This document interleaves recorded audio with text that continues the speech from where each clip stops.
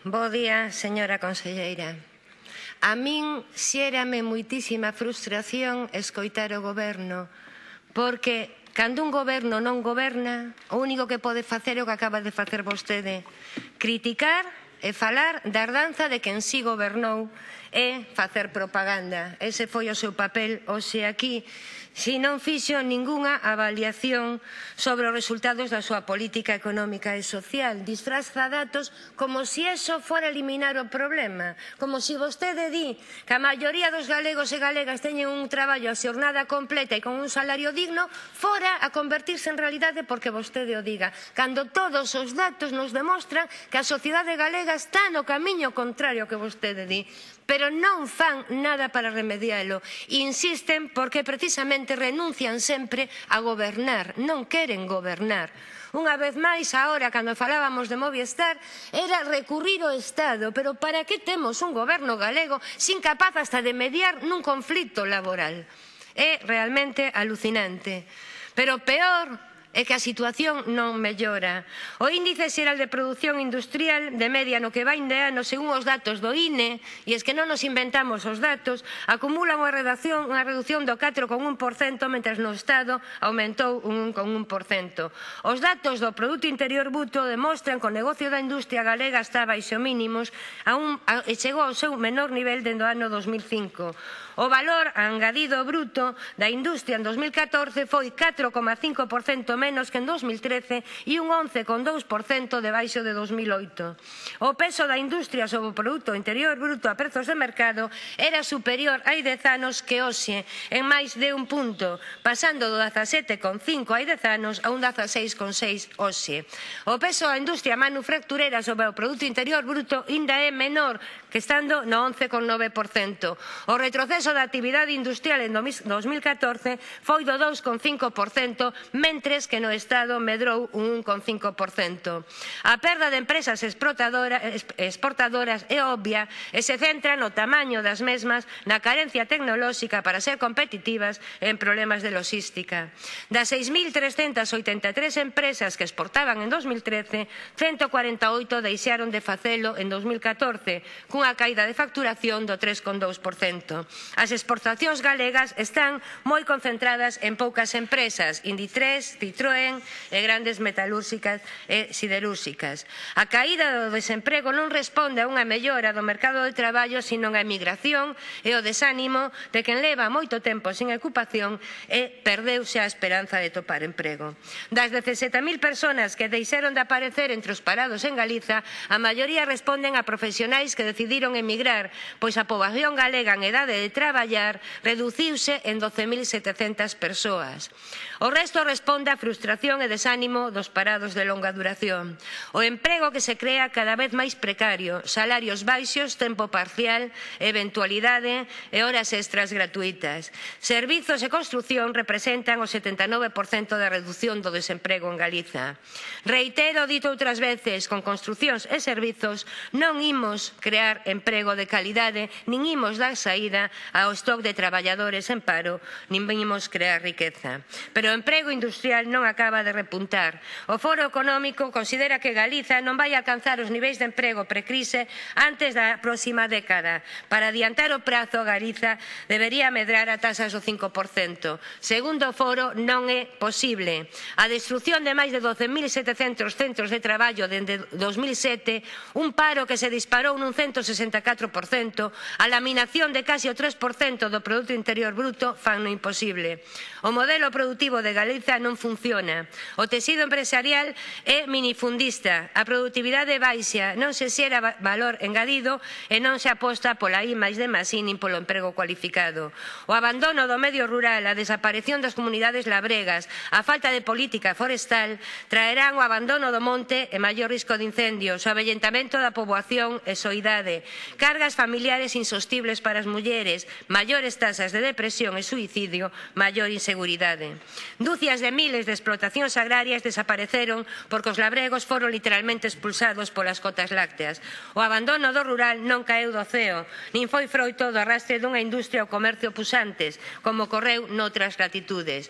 O aumento dos incendios tampouco é consecuencia dunha maldición, como acabamos de falar hai un momento. E sen sermos conscientes das causas que nos truxeron a esta situación de verdadeira emerxencia social, ecolóxica e económica no agro galego, dificilmente poderemos remediar nada. As políticas da Xunta orientáronse nos últimos 25 anos a ocultar a liquidación do sector lácteo do agro con políticas de modernización que concentraron a produto nun número reducido de explotacións e con unha base territorial insuficiente cada vez máis dependente da compra de alimentos para o gando. A cadea produtiva ante gandeiros, industrias e distribución hoxe está resida pola lei da selva. Galiza produce o 40% do leite do Estado, a industria láctea ubicada en Galiza non chega ao 10% en termos de emprego e valor engadido sobre o conxunto do Estado. E a da, de capital galego aínda non chega nin a terceira parte. É dicir, producindo 40% do leite, a industria de capital galego supón o 3% da estatal. E se non hai industria que completa a cadea productiva, o sector lácteo galego seguirá sendo vulnerable. Un país en medio rural vivo está condenado á dependencia alimentaria, pero semella que isto o goberno do Partido Popular dalle igual. O 80% das mulleres con emprego pertencen ao sector servicio. O acceso das mulleres ao mercado laboral non se produce coa mesma intensidade que os homes. O emprego masculino repuntou un 70% máis que o femenino e o paro femenino disminuiu menos da mirade do masculino. O 90,53% dos novos contratos de traballo son eventuais, frente ao 9,4% de contratos indefinidos. As mulleres teñen as condicións laborais máis precarias. E aínda por riba temos que escoitar como algunhas empresas pretenden pagarlle en especias ou latas de conserva o seu salario. As mulleres presentan maiores porcentaxes de contratos a tempo parcial. Das persoas ocupadas en Galiza no segundo trimestre de 2014, o 93,3% dos homes están ocupados a xornada completa fronte ao 77,9% das mulleres. En canto aos salarios, Galiza é a terceira pola cola das comunidades. Temos o terceiro salario pola cola máis baixo de todo o Estado e ademais disminuindo dende o ano 2011 que estaba en 1787 aos 1728 do 2014. Sin embargo, en canto aos salarios de mandos empresariais, Galiza é a sexta, é dicir, que non se dé igual a reduccións de salarios en función das categorías. No ano 2010, a fenda salarial salarial en Galiza era do 13,5, hoxe sitúase no 24%. Existe unha forte segregación horizontal por sexos en determinadas ocupacións e sectores. En Galiza a taxa de actividade dos homes supera 9,5 puntos a das mulleres. O 20,9% dos fugares con nenos e nenas a cargos está nunha situación de pobreza que ademais aumenta segundo o número de menores. A situación é especialmente preocupante nos fogares monoparentais maioritariamente encabezados por mulleres onde case a metade atopase en situación de pobreza. A idade media da poboación española en 2004, digo, da poboación galega en 2004 era de 43,4 anos, a un do xaneiro de 2013 de 45,6.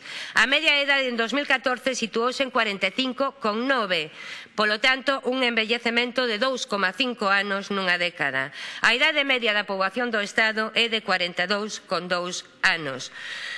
A, idade media das mulleres galegas no ano 2013 é de 47 con dous anos fronte aos 44 que representaba no ano 2012. O ano 2014 deixou en Galiza unha diminución do peso relativo da poboación galega respecto á poboación total de España. O índice de envellecemento, que calcula o número de persoas de 65 máis anos por cada 100 men persoas menores de 20, desprende que en Galiza hai 149,3 persoas maiores de 65 anos por cada cada 100 menores de 20. Galiza ten a terceira taxa xeral de fecundidade, vou rematando, máis baixa do Estado. En 2013, 100.000 persoas de menos de 35 anos abandonaron Galiza en busca de traballo noutros lugares.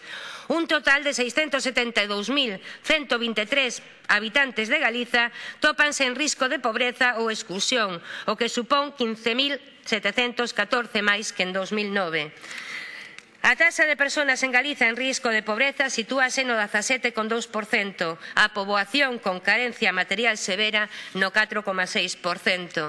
Por iso, eu me pregunto cal é o éxito, se hai algún, da súa política económica e laboral e, por favor, non se esconda detrás do goberno bipartito. Gracias, señora Martínez. Grupo Parlamentario do Bloque Nacionalista Galego ten a palabra a señora Prado Cores.